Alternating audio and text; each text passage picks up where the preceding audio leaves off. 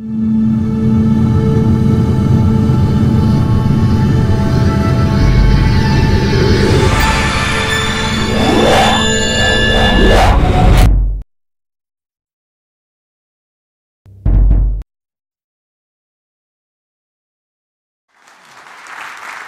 you very much. Thank you so much. All right, thank, thank you so much. So I, um, I work on launch vehicles. I, um, I, uh, I often have the function of a, of a launch chief engineer. And this, on this particular flight on um, Friday, I was the launch chief engineer, and that means that I'm really busy with the mission and don't do a lot of anything else. So I, I apologize for the lack of sophistication and, uh, and intelligence on those slides. So, but, and then I'm also not no astronomer. So um, I'm actually, I wasn't really sure what I'm going to talk about anyways, because you guys do, do great things and look at far distant stars, and, and we just, you know, circle the Earth right now. Um, so I, I, wanted to, to point out the difference between what we look at and what we're actually doing here. Yeah? Um, and I call it the current space travel performance. So basically, when you, get, when you, when you leave Earth orbit um, and go into a, a, a low Earth orbit like the space station, it's about 8 kilometers per second um, times 3.6, and then uh, a couple zeros is the, the, kilometers per hour, and then you can convert it into miles per hour if that's more convenient.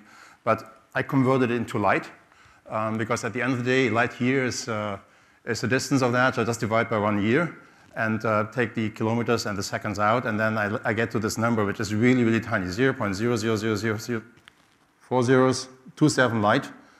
Um, is basically this, that's the speed measured in, in, in, in uh, relative to light of what we currently do when we go to orbit. So it's really, you know, compared to, uh, you know, light, really, really tiny.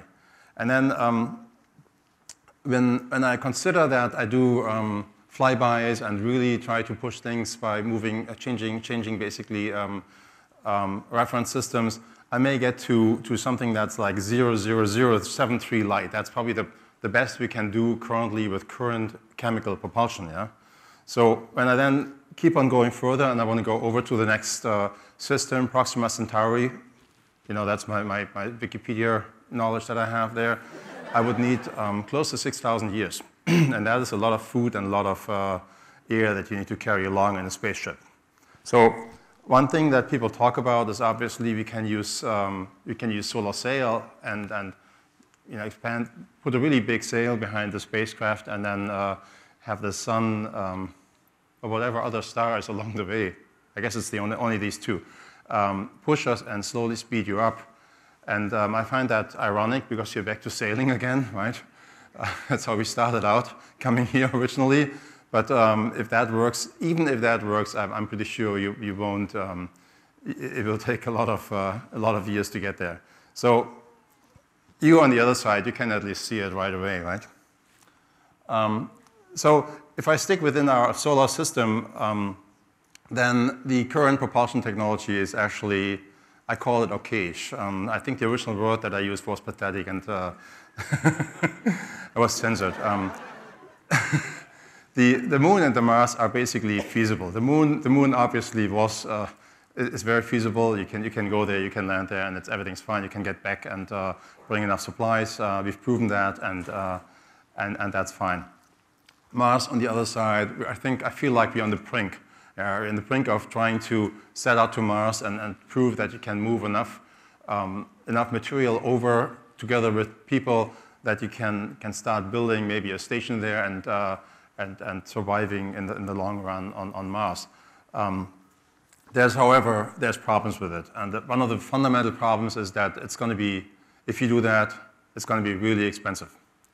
And um, so from that perspective, um, the, in terms of what should I work on next, one of the key things is basically we should work on cost.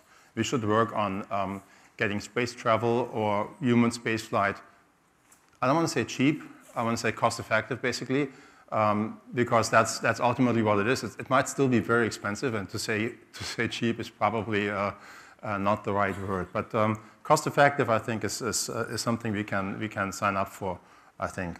And that's, uh, that's basically where the story of SpaceX um, begins. Um, I give you an overview. I, I, um, Well, I, I learned um, aerospace in, in, in, school in Germany, in uh, college.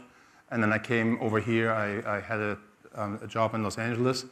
And along the way, um, 14 years ago, Elon Musk uh, picked me up as, uh, as an avionics person and guidance and control person at the time. Um, that's almost 14 years ago. Um, we're not quite there yet, another month. But um, we, um, in that time frame, we basically started out in 2002. It's uh, not that long ago. I know that people sometimes refer to us as a startup still. That's probably not true. It just means they haven't heard of us before. But um, it's uh, among the aerospace companies, it's, it's one of the younger ones, um, definitely. And the, the ultimate goal was to enable people living and, uh, and traveling to other planets, in particular Mars, occupy Mars, exactly. Um, so so um, it's the, the world's fastest growing. So this is, this is now um, partly based on, on, on, a material that we use for, for, for um, generic um, presentations. So I gotta, I got to bend this a little bit um, to, to your expectations. Um, we have a lot of money, we have a lot of missions on contracts and the manifest, and that is indeed one of our challenges. we need to increase our current launch rate We've been at uh, a couple of weeks between the launches, and that has to be um, basically the continuous improvement over the next year that we get to a point where we launch within two or three weeks, um, you know, over and over and over again. We have, um, we have 4,000 employees, and that actually is probably a couple month old. I believe the last number I heard was 5,000, and, um, and we are still growing. DC confirms flight computers in startup. Second stage pressing. Tanks are at flight pressure. F9 switching to internal power. T minus five, four, three, two, one, zero. Liftoff of the Falcon 9.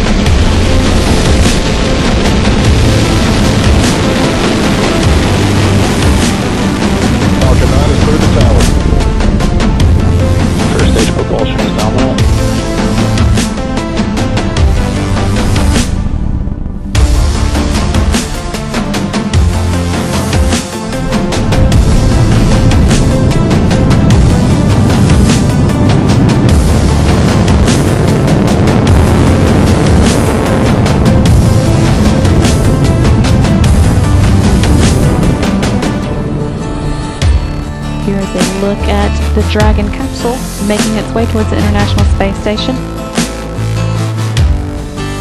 Station on two, we see Dragon at 20 meters.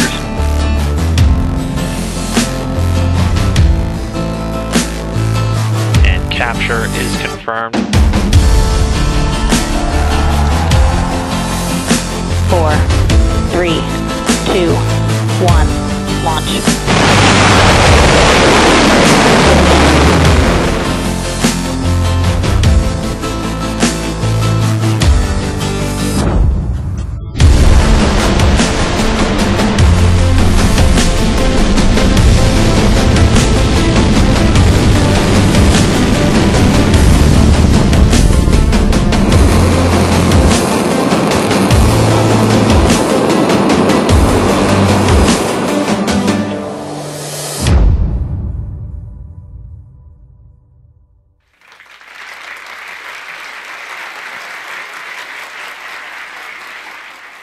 This was everything um, really quickly, and I'm going to have uh, to follow up and, and, get a little bit more detail um, along the way. First, um, where we are, we have the main factory in, um, in, uh, in Hawthorne, and uh, we have a place in, McGregor, we have Cape Canaveral, we have KSC, which is, there's actually a difference between Cape Canaveral and uh, KSC. Kennedy Space Center is the northern part, which belongs to NASA, and the southern part, Cape Canaveral, belongs to the Air Force. So it makes a, it's a, it's a it's not a huge difference, but it does make a difference, actually.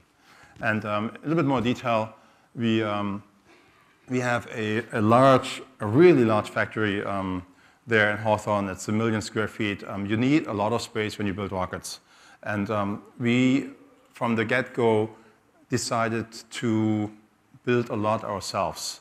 There's different philosophies out there. One of them is um, you buy everything and and you put it together, and then you have a lot of paperwork, you have a lot of specifications, uh, you push your responsibility over to the vendors, and the vendors sometimes come through and sometimes not. and then you end up with something that you have pieces of, and you put it together, and you're trying to make it work. And if, some, if something doesn't work, which is quite common in engineering, then, um, then obviously you got to call the vendor who is just on vacation right now, and uh, it's really difficult to, to do this. So if you do this a couple times, then your conclusion is, I got to do this myself. Yeah? Um, and so we, we, we, early on decided to build um, key technology ourselves.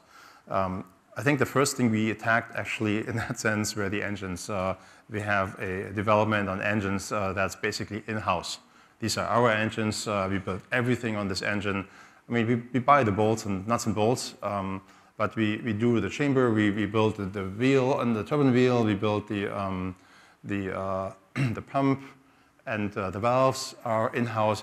Sometimes um, we go outside and get parts and pieces, um, but those are typically parts and pieces where you can have two vendors at least, or maybe three.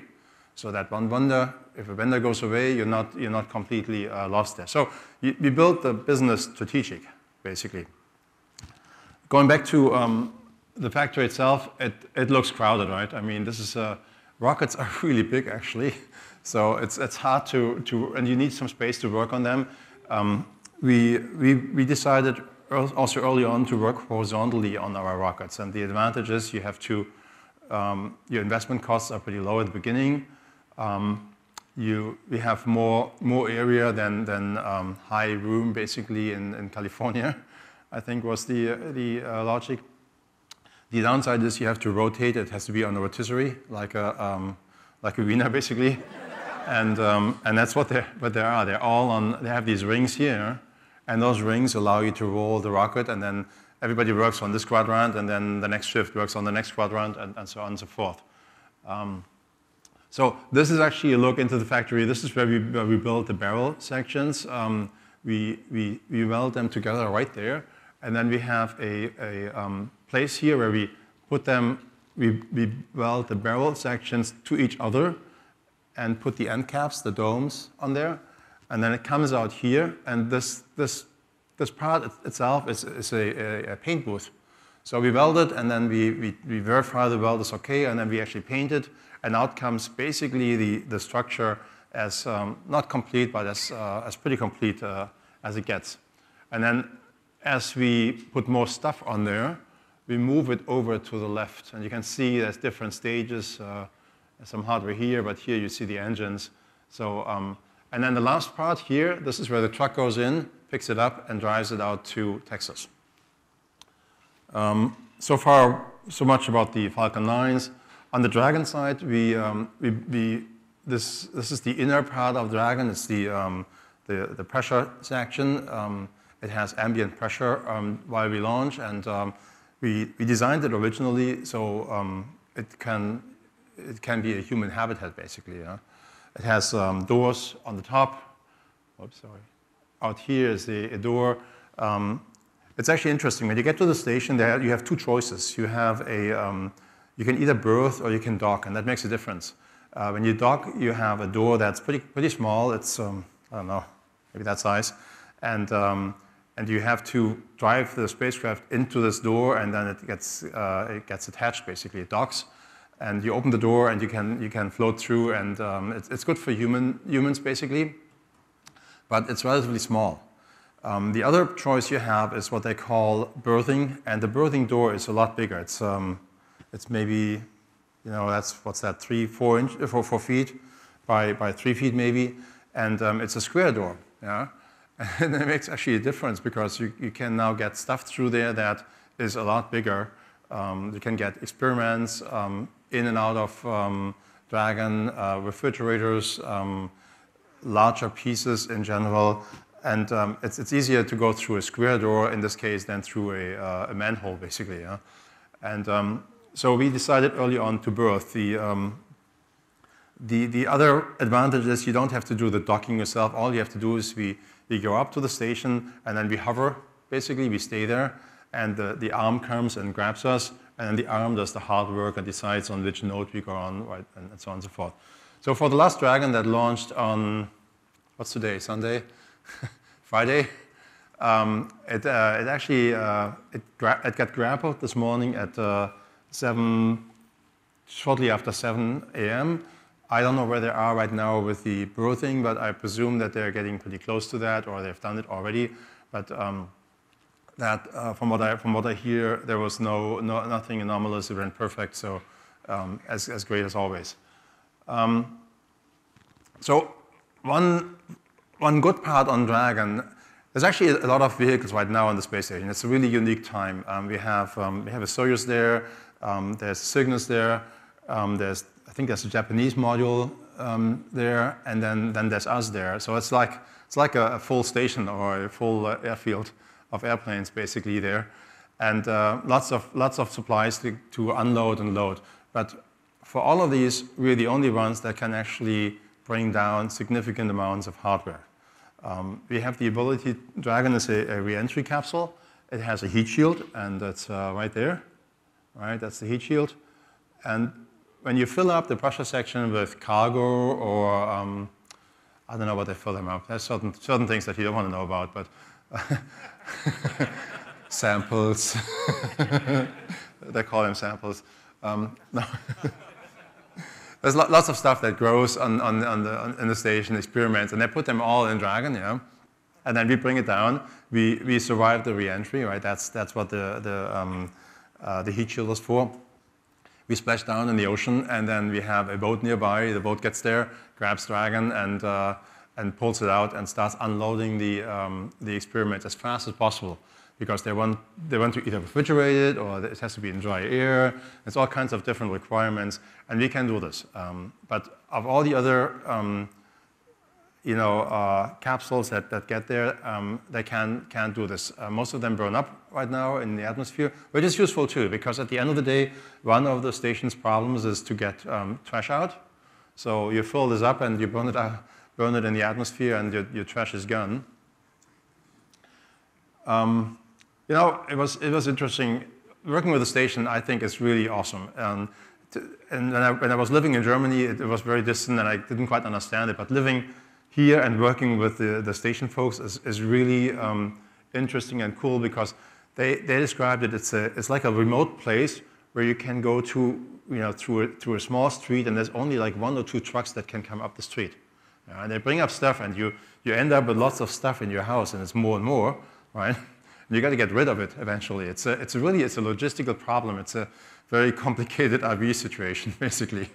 And, um, and so on top of all the technology that they have to, to get to space and back, they also have to make sure they get enough water, enough air, and uh, it's, it's, a, it's, it's, a lot of work. It's a lot of uh, challenges, and I think they, they do great in, in, in, supplying the station not just with the, the stuff to live, but also with experiments and, uh, and, and you know, making sure that the astronauts do useful work there over their typically half a year or in, in some cases a year stay. So it's, it's, it's, it's a really logistical and technical challenge to keep this, uh, keep this project up there and, and alive and uh, make sure that they, they, um, they're well taken care of. And, and obviously Dragon, I think, is, is, is an important part um, of that. So down here, I also want to point out, this is Dragon uh, this is the first one that came back. We, um, we had one and a half orbits and then landed in Pacific. And um, we put it up right there. There's mission control, which is nothing but a big fishbowl. Um, we, uh, our, our, mission controls are different. They're basically um, tables and uh, whatever, IKEA, IKEA tables and, um, and, and, um, and screen area.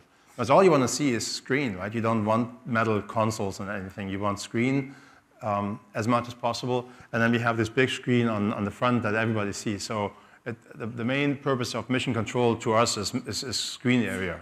It's, it's real estate on your, on, your, on your computer, basically. And then uh, this is actually part of the cafeteria here. And, um, and we, we, we, we, people come and watch the launches or they come and watch the, uh, the grappling and, uh, and uh, they can see right into mission, into mission control and see what's happening there. It's a, it's a pretty cool place to work, for that matter. Um, let's see. I, I, I, talked briefly about manufacturing in-house, 70%. Um, that um, the, the reason it's actually uh, in that frame is we, we sometimes farm stuff out. There's vendors that do certain surface treatments. And they're better than we are in, in, those, in those things, or vendors that just do one function at a time for us over and over again. And so, so we do work a lot with local industry and, and sometimes also across the states to, um, to get some hardware together and, uh, and make it work. But we've been, in, generally, in general, we've been taking the approach of designing a lot in-house versus outsourcing a lot, basically. Um, when we um, when we build the stages, when they're done, we send them to to Texas, and in Texas we have a, um, a test facility in McGregor. Um, it's um, let's see, I think it's south of Dallas. Um, Waco, I think, is the next the next big town, and that's not a big town. Um, so, so um, this used to be an, old, an older facility, um, and we, we basically wanted a place where we can test our engines. And uh, one of the things we, we started doing is we started testing not just the engines, but we also decided to test the stages. Uh, when we build the stage together, whether it's the first stage or an upper stage, we drive it down to Texas, we put it in a stand, and, and this is the old one here. It's the old test stand. Um, we, don't, we don't use that anymore. But you can see this is like this, this huge uh, flame deflector that we put under it that makes sure that, that the flame goes one way and doesn't, doesn't eat up on those legs. Um, that's not a good idea. And, um, and then we test the stage um, typically for, on the first stage, um, we can't quite go to the full duration, but we get close. And that has to do with you know, the force you need to hold it down when it gets empty. Th those forces are enormous. On the second stage, um, we typically go to full duration, um, and that's, uh, that's unusual. Um, not, not everybody in the rocket business does that. Um, and uh, we found that if you do this, um, you catch a lot of things um, that you rather catch on the ground than in, in orbit, and it, it, leaves you with a more reliable and a, a, a product that you can trust after the test, basically. And and also we test the, uh, the engine on, on their own. So before you put them together in a, in a big rocket, we test them um, as an individual engine. We make sure they're trimmed in and they, they have good performance and they, they can throttle up and down and, and all these things that, that engines do. Um, the team has to work a lot on those tests. If you imagine uh, Falcon 9 has, well, 10 engines technically, right? Second stage engine and uh, nine on the first stage. Um, and if you want to launch every two weeks, um, you pretty much have to finish one engine per day um, there. The, your, your takt rate is, is, is, one per day. And when, you, when, when, you, when, you when that's your takt rate, you better get to the ability to do two per day so that you don't, you know, you can actually take a uh, holiday off uh, or you have to work continuously, right? So um, the, the, one, one, of the, um, we, we, actually, I think we, we, we pushed the, the industrialization or the um, mass production basically on engines a lot farther than, than, um, than what I heard from, from, from other places. And um, we're at a good spot right now where we, we actually have that takt rate and we can produce our engines and we can um, test them fast enough and, uh, and get to a product that's, uh, that's both reliable and built pretty quickly. So um, this only talks about the big engines. There's, uh, I do have something about um, the, the, Dragon engines too. Um, I think that's on, on a later slide. Um, but before we do this, let's, uh, so the, the, rocket goes through the stage test and then we ship it over to, to um, Florida. And in Florida, we have this launch pad, um, uh, Slick, Slick 40 Space Launch Complex, I think is the right uh, word for it. And Gee, there was Titan and what was the other rocket? Yeah, it was a Titan actually, yes. This was the, uh, the this is the old Titan pad. Um, I, just, I just got confused. There's different Titans, right? This is the real Titan, the big Titan. so so we, um, this used to be the, uh, the big Titan launch site, uh, not the Titan II, the smaller one. And, um, and it, came, it came with those lightning towers already. These are huge, by the way, um, bigger than the rocket and, um, and the flame duct over here. And what we do is we, we um, integrate the vehicle in this hangar that's behind it, over there. We built, we built a hangar Um, and like in the factory, it's, it's horizontally, and we, we process everything horizontally. We, um, we put the, uh, the spacecraft on top, we put the stages together, um, we check everything out, um, and that takes, uh, takes a couple days. Um, and then we put this whole thing on this, um, on this uh, frame, uh, which acts as a, as a backbone. We call it transport director, and it runs on, on, on rails. And we lift the rocket up, we put this under it, we put it down again, and then we move the whole thing out. And, um, and then we put it basically up, and we do another test. Yeah? We do another static fire. And the reason we do this is because now we have this ground system. The ground system is actually pretty complex. You have to deliver a lot of gases, uh, liquids. You have cryogenic uh, oxygen that goes in both stages. You have RP1 that goes in both stages. So there's a lot of stuff that goes in, in those stages. And, um, and uh, that, that, that adds complexity. And one of the, the things we do with our static fire is we test it out and we make sure that this all works. Um, because in static fire, it doesn't matter when we do the static fire as long as we, we do it on the day we say we do it. Um, we, um, we did a static fire here on um, Tuesday, I forgot. Everything goes in a blur when, when you're in this in, in, in missions, and beacons don't mean anything. But um, I believe we did the static fire on Tuesday. It was a good static fire, but it took, um, it took a couple hours to get actually done. And, and, and you, it's good when you do this in a static fire, and it's um, it preps you for, for a flawless launch like the one on Friday, basically. Um, so that's one last test that we do. We fire the engines for, for a couple seconds. Um, typically, it's two, three seconds at full thrust, um, which doesn't sound like a lot, but uh, it throws a lot of dirt around over there. it's uh, it's uh, one, one and a half million pounds of thrust, right? And uh, the upper right is actually showing the vehicle in the hangar. Um, I guess that's uh, pretty much after, after we integrated and after we cleaned everything up. otherwise, you see lots of uh, you know, structures to get on the rocket or side, on, on the side of the rocket we have, um, this one is the, uh, the uh, liquid, um, liquid oxygen sphere. It's a, it's a big sphere, actually. And um, there's more tanks behind that, too. And then that's the hangar from the, uh, from the outside again. Um, talking about the Cape, um, we have a second launch pad there, and this one is pretty historic. Um, this one is the, uh, the old, one of the, the, the old Apollo and shuttle launch pads. It's LC-39A. There's also LC39B, but we don't have that. And if you, um, if you remember, the, um, there's the, the VAB, the Vertical Assembly Building, and then the Saturn Rocket used to be on these crawlers, right? And they, they moved all around the, cor the corner. And um, the crawler would then move up here. Yeah? You can't do that anymore. There's, a, uh, there's the, the new hangars in the wave now. But uh, you can see the, the, uh, um, you know, the, the crawler way. And you can actually see the, uh, the launch tower. Um, there's the, uh, this is what used to go over on and fold around and go on the shuttle so that the shuttle folks can work on their payload on, on the launch pad in the clean room. And, and, and all the hardware here, like the water tower, um, this is still liquid oxygen. Hydrogen used to be on this side. We don't use hydrogen, so we use, we use RP1 as, um, as fuel. And and, and, so all of this hardware is pretty much the same, but we did clean out, um, essentially, this, was, this is a, a, mountain, an artificial little hill, and then a trench to it.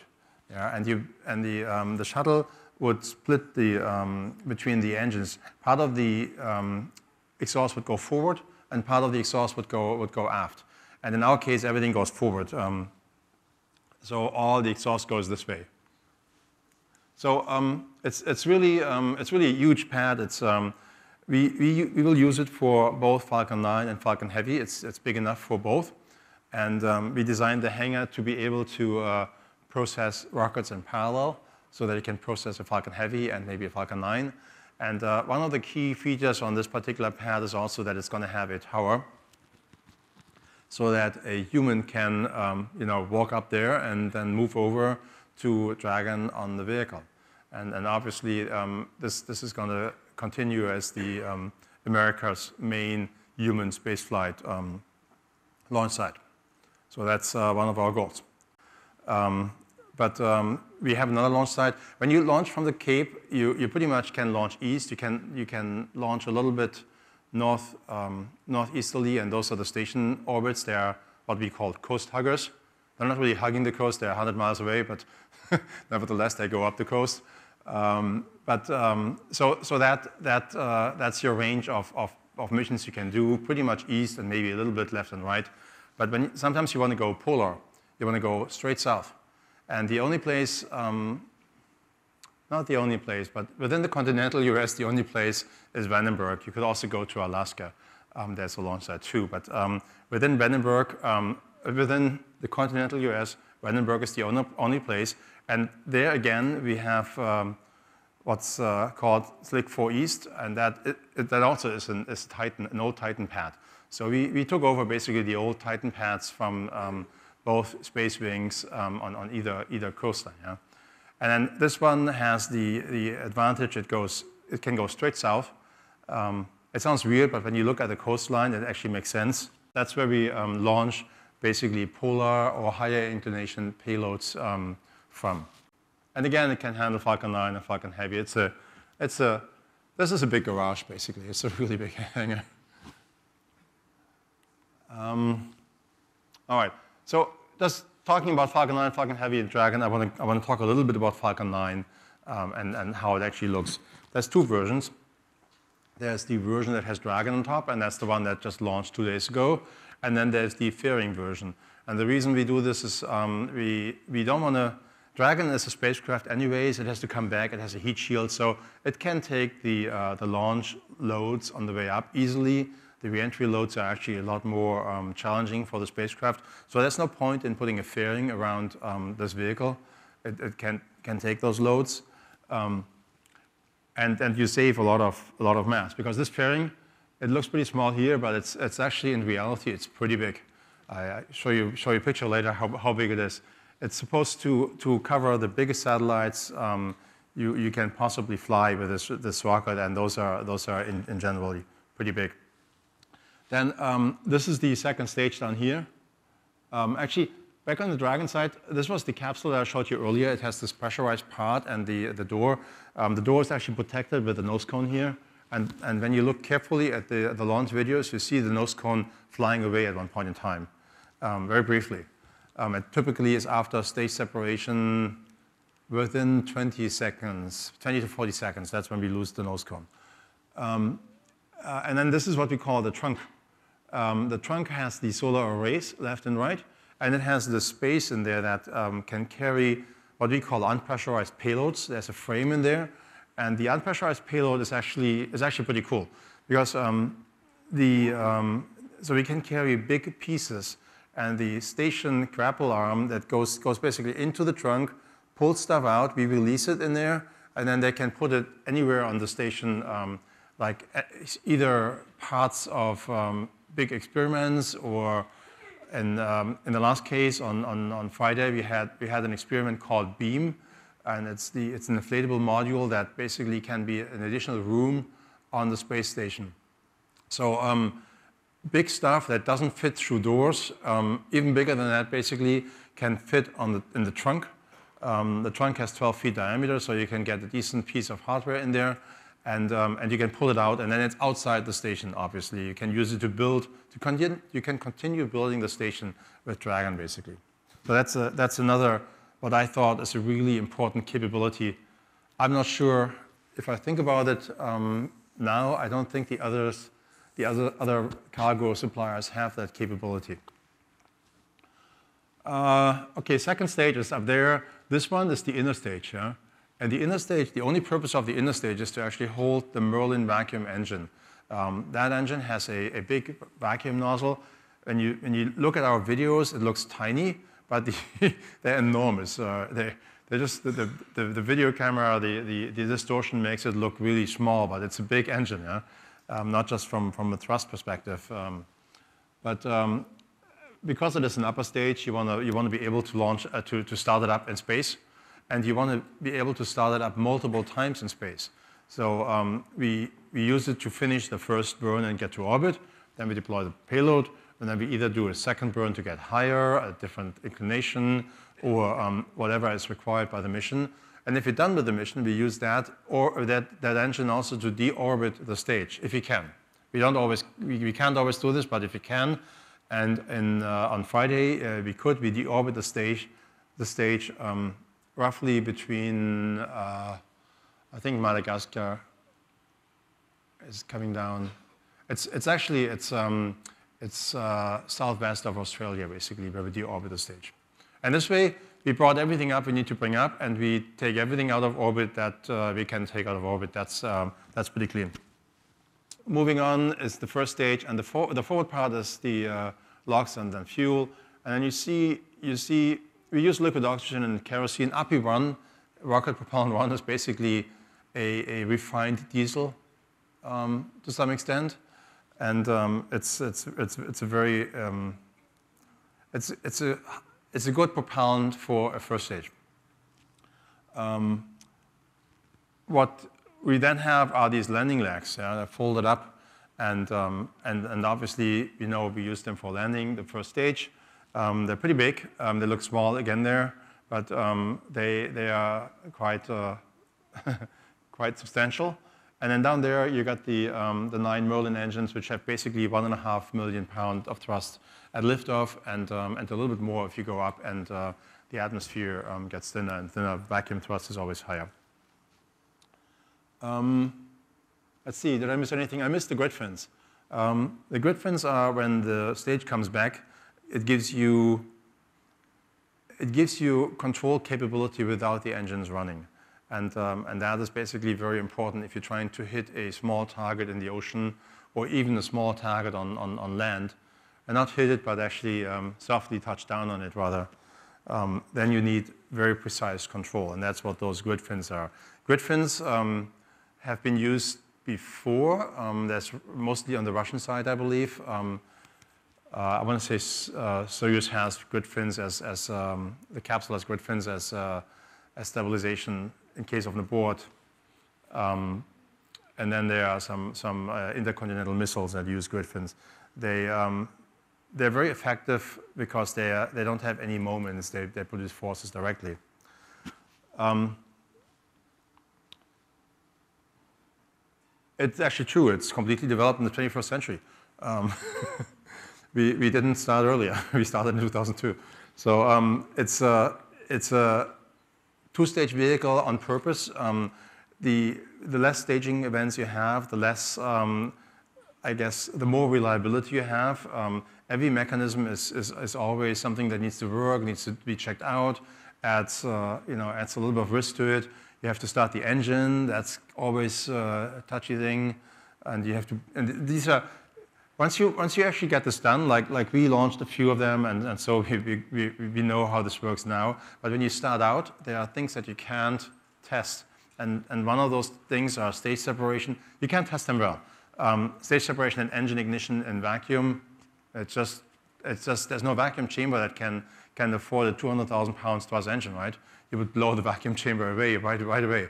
So um, this, this design is basically um, as, as simple from that perspective as it, as it gets, and at the same time, um, as high performance as, as possible. Um, designed to be fully reusable, and that's actually what I want to uh, go after in, in, more, in more detail too. Um, we talked about this other thing already. Merlin, um, this is our engine family, and it's just, it just um, by now it is the uh, fourth generation, more or less. We, we improved the engine over time. We had an early development on, on what we call Falcon 1, and, um, and an engine that we, we then improved over time. By now, this engine is, is, uh, is pretty uh, pretty remarkable in terms of thrust. You got 170,000 pounds at sea level, basically, and um, it's, the, um, it's, a, it's a fairly high performing engine in terms of thrust to weight, and ISP actually too, for this particular propellant. I guess enough. Um, I told you I'm going to tell you the, uh, more about the fairing, yeah? So this is the fairing test in actually what is a pretty big uh, vacuum chamber. Um, and, uh, and we we basically verified that, that the fairing would, would separate cleanly and not touch the satellite when you do this. when you build a satellite that goes all the way to the limits. Um, it's, uh, it goes either on the Falcon 9 or Falcon Heavy. It's the same design, and it's all pneumatic release. Um, there's no pyrotechnic on the fairing. Yeah. And, uh, and that also is something that is uh, somewhat unusual. The advantage is you can test this on the ground. You don't need to, um, you know, pyros are great in terms of size and performance, but they have one downside. You can only fire them once, yeah? So when you prove that this pyro actually works, you have to actually take out that pyro and put a new one in, and that's really, that's really annoying. right? You can, you can build 10,000 pyros and you fire 9,999. 9, You're pretty sure the last one's going to work, right? But um, you're actually never really sure. so, so this one allows you to, to cycle the system um, and, and to make sure everything is working fine, and then you fly it and, and um, you know, it, it behaves uh, like you tested it, if you test it right. Uh, pretty big, um, 70 feet diameter um, and uh, 43 feet long. Uh, I think it's higher up than this year. And, um, and uh, it's, it's, it's, this is basically a little bit like a big boat. Yeah? It's, uh, it's even sturdier than a boat it uh, because it has fairly high wind loads and uh, acceleration loads. Um, what's important is how much mass you throw. Um, it just mentioned GTO because that's a, that's a mark, basically. Um, and, but it can do a lot more into, into LEO, into um, low Earth orbit. The, um, the Dragon was at the order of 12, 13 metric tons that we launched. So it goes a lot higher if you go to lower orbit. Um, so actually down here is the, the, number. So it's not in metric tons. It's an, so that's, the, that's obviously 13 tons in, into, um, into low Earth orbit. And we, we, got pretty close to that number on, on the last flight. Um, and then if you go to uh, geosynchronous, you lose. The reason you lose a lot of that is because um, you, you need, well, you need to accelerate a lot faster. Um, and more mass keeps you from doing this, basically. It's accumulative um, in the end of the day. Um, on, on the Falcon Heavy side, that's basically 53 tons into orbit. That's a lot of, uh, lot of hardware that you can push into, into orbit. And the, um, the idea is obviously, as you can see, that all three of these come back. And, uh, and now this is a, a, a major piece of um, this rocket that is reusability. Um, moving on, Dragon, I just want to get briefly, um, it's, uh, it's the, I mentioned a couple things along the way. It's the only spacecraft right now that can return significant amount of, of cargo.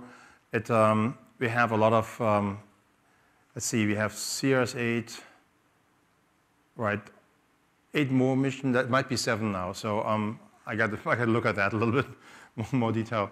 And um, we have a, a, second version right now that is able to fly Crew Dragon. Obviously, you need to add a lot of stuff um, to fly humans, not just the seats.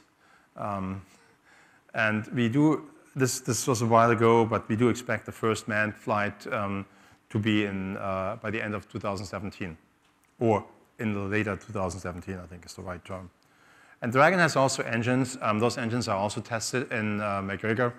Um, they uh, use a different propellant, and the reason they use a different propellant is because um, there's nothing that ignites um, the propellant. It has to ignite automatically. So you use hypergolic um, um, propellants, MMH and uh, NTO, or I'm not sure how to pronounce this in English, so I'm not, so I'm not going to do this. Um, monomethyl hydrazine and nitrogen tetroxide, I think, are the, the words. And we have um, 18 engines that produce about 90 pounds of thrust. And what I found fascinating when we did this is actually we built those engines in-house. Uh, those are typically those are engines that you pay a lot of money for, and you, you go to you know expensive companies and they deliver that to you. And we just built 18 per Dragon and test them there and, um, and fly them. And then we have something that's called Super Draco. And uh, Super Draco is a, um, a 15,000 pound um, thruster based on the same uh, propellant technology. And the reason we want that is you saw this in the video. Um, in order to get the, capsule, uh, get, the, that, get the crew out when something bad happens on the rocket, you need a lot of thrust. You want this, uh, you want this capsule to just go And, um, and that's, that's what the uh, Super Draco does. Super Draco, there's eight of them on, on, the, on, the, on Dragon, and that is enough thrust to get the capsule away in any situation and you know, save the astronauts in, in, ca in case something goes, goes uh, not right. Um, I want to talk about a little bit more about the reusability. As I came in, I, I said this is one of the one of the fundamental technologies basically to, to lower the cost and to make sure that you can actually um, go to Mars at an economic scale and not just you know collect everybody's taxes and and, and have one Mars flight or something like that. That's not that's not going to work. Yeah? It has to be it has to be at a level that is sustainable and it's something that um, that in the long run you know allows you to send actually people there that do want to go there well, essentially to settle on Mars. Um, so if you reuse, you want to get the stages back and you want to get it back actually at the right spot. And um, this is basically what this, uh, what this summarizes, right? There's the, the first land landing. I'm going to show you, I'm going to show you a video on this one in a second here. This is how we pick it up, and then we fold it over and drive it up to, um, to the launch site again, and, um, and basically refurbish uh, it um, as, as much as needed. But the, the key thing basically is um, how much refurbishment you actually need. It doesn't mean that you, reusability doesn't mean that you recover something. It means basically that you, you design that you use that again automatically or from the get-go. It's, um, it has an enormous potential when you use a stage 10 times or maybe 20 times or maybe in the long run 100 times because the, um, the, uh, not only obviously you, you, you avoid the cost to, to build this, um, this rocket over and over again. Just imagine, I mean, Elon, Elon mentions this all the time. If you were to fly back to Los Angeles and then throw the airplane um, away after you land, that's probably going to cost you. I'm not sure I could afford that. So, so on, on, on, on the other side, if they do use that airplane again, then I might get away with a ticket that's 500 bucks, right? So um, that's, that's kind of the, the, the, thought behind it, yeah? And, and, and obviously airplanes are a little bit ahead of the game here, but at the end of the day, I, I still think if you, if, you, if you start working on that, if you get to the point where you use this rocket again and where you're trying to fine-tune things and trying to make sure that everything gets, uh, gets through the, the, the reentry without being damaged, um, that, would, that would make an enormous amount um, of difference in terms of launch cost and um, in, in, the long run. So currently the $60 million might shrink to, I don't know what it is in the end, because you still have to add some, some, some launch costs on top of that, right? But it's certainly going to help. And the second thing that I always say is um, when, when I fly, I, I, fly an airplane, and when, I, when it comes from the mechanic, I'm really not, I'm really worried, right? That's like a new airplane. you get this, and it has actually never flown before. So it's probably going to fly, but um, I feel better if somebody flies with it and lands it, and then I fly with it. Yeah? Um, and there's, there's a little bit to that to a rocket too. Yeah? I mean, um, every booster um, that comes in, I, we, we, look at the paperwork, we make sure everything's been done, tests are correct, and everything worked out fine. But if I actually know this booster comes back, I know what to do to check it out again. Yeah? But I don't have to go back into the history because I just flown it again uh, I, just, I just flown it. There's some, some huge benefit to actually um, having something that has successfully flown. You need to look at whatever um, you know, suffers fatigue, basically, but um, you also have some confidence that you, know, you, you basically put this rocket together the right way, right? It just flown. and lots of, I mean, I, I, know it sounds unbelievable, but um, um, there, there have been lots of accidents by people mounting stuff the wrong way. Yeah?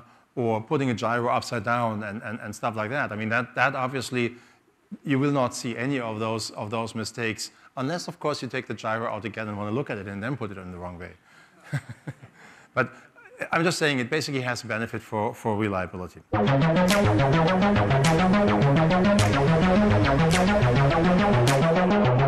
VC, start the launch auto sequence. In order.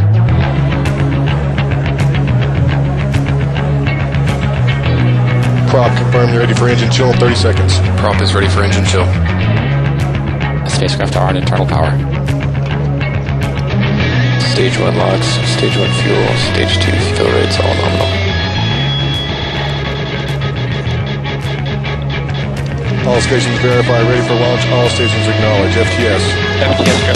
Prop, prop go. AVI, AVIs go. GNC, GNC go. OSM, OSM go. recovery. Landings go. LCLD, go for launch. T minus five, four, three, two,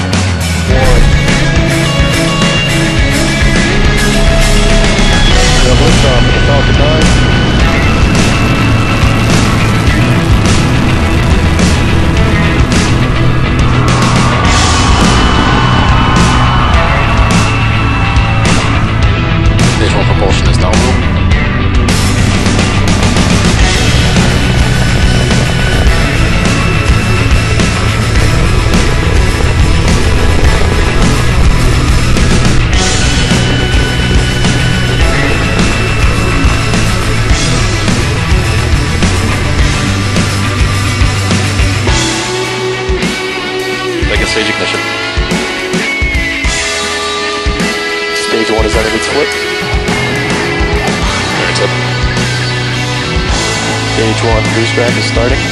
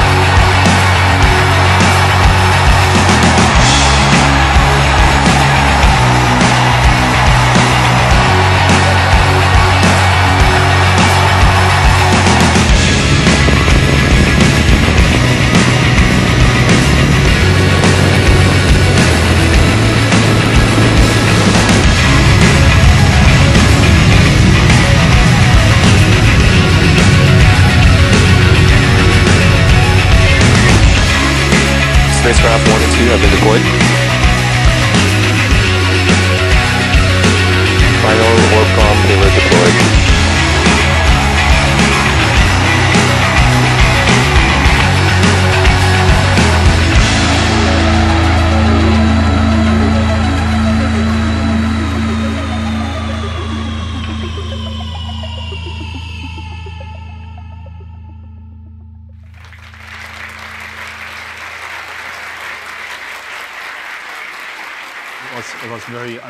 to find the rocket that you just launched, um, you know, earlier, earlier that day, and, and actually find it back there, and uh, a little bit smoking still, but uh, and, a little bit blackened by this. But at the end of the day, um, very, sim- very, very much the same, same stage. We, you know, we did perform a couple tests after that, and uh, we, I don't want to say we took it apart, that, but that's pretty much what we did.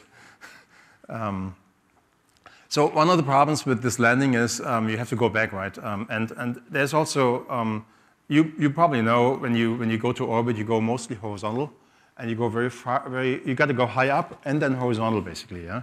So um, that's why you see this arc typically when you launch the rockets. And um, by the time the stage, um, stage one shuts down, it moves uh, the order of, you know, um, 5,000 miles an hour, something like that. It's uh, 2,000 meters per second. Um, sorry, I'm, I'm still metric. And, um, and then you have to actually turn this around and now move it back to land. And that's a lot of energy to, to get it back. And then you have to actually land it. And um, when you landing with the rocket engine is, is, uh, is not very efficient. Um, ultimately, it's, it's a, it looks great, but, but you're fighting gravity the entire time. Yeah? It, um, it's actually best if you, if you do this very late at the last moment and with the highest thrust you can do. And that's, that's kind of what we do there. Yeah? It's, it's, it's, the landing burn is very late, and the highest thrust we can do, and just, and just touchdown is, is, is just barely at the, time, at the right time. When you can't do this, you have to put your landing site in front of you, and that helps you. Um, you still have to do a couple burns to get slower and to get to the atmosphere, but um, the, the, um, for missions that need a lot more delta V, like the geo transfer mission, uh, basically going back is currently not an option. We need to go forward or, or um, at least you know, further down. Um, so we think half the missions, maybe more, um, will land on, on what we call the drone ship. We don't call it a barge because it used to be a barge, but as you all maybe heard Elon's press conference, it's, um, it has engines, so it's, it's a ship, right? And it's, uh, it's a drone ship because it's autonomous. and um, they're, harder, they're, those landings are a lot harder. And it's partly because the drone ship is smaller, partly because the drone ship moves, partly because all of that is so far away and uh, they're, they're, they're, trying to meet up in the, in the middle of the ocean. Um, and we had a number of drone ships, um, uh, drone ship landings that, uh, that were, I guess, mostly entertaining, I would say. so uh, you, see, you see the stage coming in and it hits the land, it hits the, the drone ship and blows up, or it lands on it, falls over. Uh, there's a couple that come so hard we didn't even show that. Uh, so, so um, well, this is the run that we did um, on Friday, and um, this is the first time we actually made it work. And this is the view from the vehicle. You see the grid fins. There's the, the lens of the camera brakes. That's how, that's how much heat we have there. That's heat and shock, I think. That's another break. And it's, of course, exactly where you would see the drone ship. Uh, so I was I was going, ah, no, not this one. but um, it's, it's still, it's a gorgeous day and you can see a lot. It's, the lighting is perfect and you can see, um, you, you, pretty soon see the, um, this is going through the reentry. Um, you can see some of the, the water there and pretty soon you will see the ship actually despite the crack there. There you go, you see some waves and there's, I think there, there's, there's what looks like the ship, right? Uh, not sure, there it is. you see how the fins work, right? It's, uh, there comes the, thing. I mean, it's just last minute. and this one stood up.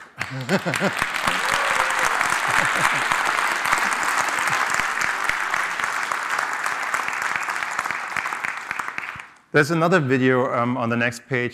This is the, um, the perspective from the chase plane.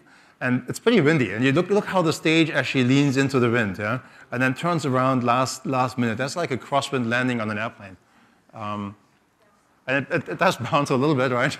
uh, and, uh, and, uh, and then it just like stands there. So if you, you can find this, uh, this link on YouTube. Um, as a couple other versions there too.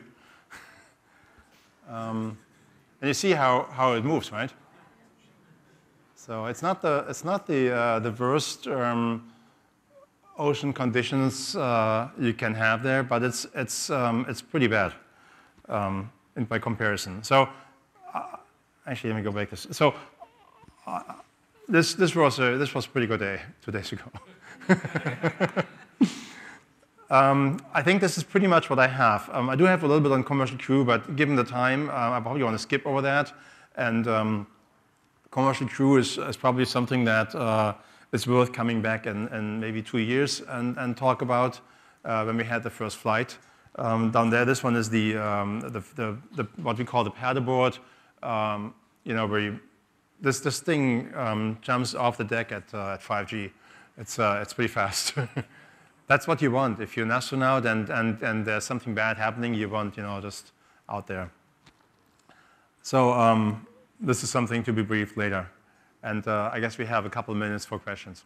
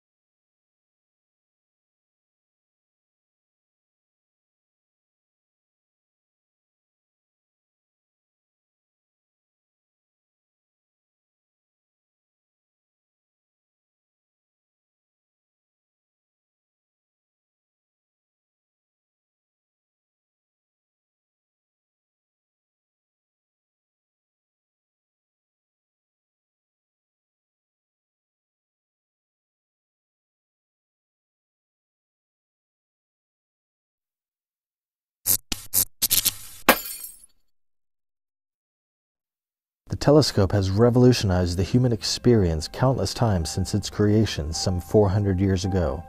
Celestron is doing our part to continue the evolution of the telescope and expand the horizons of the human mind. For decades, Celestron has been committed to providing individuals with high quality telescopes and optical instruments at affordable prices. We strive to clear the way for intellectually curious people around the globe to experience and explore deeper into nature and the cosmos. When I think of Celestron, I automatically think of the people. Um, to me, a company is people. We have people that are passionate about what they do, and we have extremely talented individuals that work for this company. And I think it takes those, um, those intangibles to create great product. Founded in 1960 in Los Angeles, California, Celestron has been an industry leader in telescopes for over 50 years. As the world's largest telescope brand, we continue to develop technological innovations that set the pace of the industry. Celestron is synonymous with inspired design and state-of-the-art technologies. As an industry leader, we strive to remain the world's most innovative telescope brand. As a rapidly growing outdoors company, Celestron focuses on products that enhance the exploration of the great outdoors. As a champion of STEM education and the arts, we pursue the advancement of public scientific understanding. Our long-standing track record supporting astronomy, education, and outdoor-related nonprofits across the globe speaks to the values we hold dear. Celestron is committed to encouraging the exploration of our natural world in fun and unique ways. There's like a lifetime of good memories at Celestron. It's probably one of our star parties. I'd say probably at the Badlands when we had in the middle of nowhere a crowd of hundreds of kids coming off of school buses coming up and observing the sun for the very first time through a telescope. I've had so many amazing experiences here at Celestron, from helping assist with the setup of equipment with Stephen Hawking to the very humbling experience of a standing ovation after we announced to teachers at the National Science Teacher Convention that we were donating the binoculars to them. One that definitely stands out as uh, as kind of an achievement in my career was when we launched the CEVO telescopes, the Celestron Evolution. That was a really proud moment for me to be able to look at the people that I've essentially had grown up with and spent my career and be sort of at the pinnacle of achievement and being able to sort of unveil that and communicate that to, to all these people that I've, I highly respect and have worked with a, a long time. One of the things that makes a company great is great employees. We just strive to push the envelope to really accommodate the needs of our customers. Those are the keys to what drives Celestron and what makes us successful. Our goal is to inspire a sense of wonder, curiosity, and fun in our communities and throughout our company. We desire to be a vehicle that helps drive humanity's insatiable desire to know the universe. My vision for Celestron would be taking all those qualities the company's built upon and taking them into the future, into the next generation. And so we need to be continually evolving as a company. As someone that's been in this industry a long time, I do think that Celestron's best days are now and the even better days lie right ahead of us. We dedicate our work to opening the eyes of the people around the world and enhancing their view of the cosmos, into the past and on to the future.